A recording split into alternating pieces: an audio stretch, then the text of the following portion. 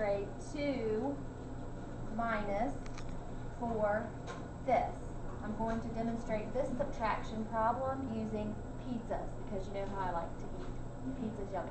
So we got two whole pizzas. Okay, I'm gonna demonstrate those in the form of two circles.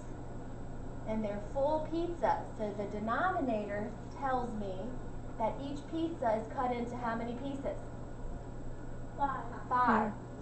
Pizza has five out of five slices in it, and this pizza has five out of five slices in it. So I'm gonna take one of these pizzas, and I'm gonna move it over here, and it's still one whole, I'm just changing the form from one whole to the fraction five over five.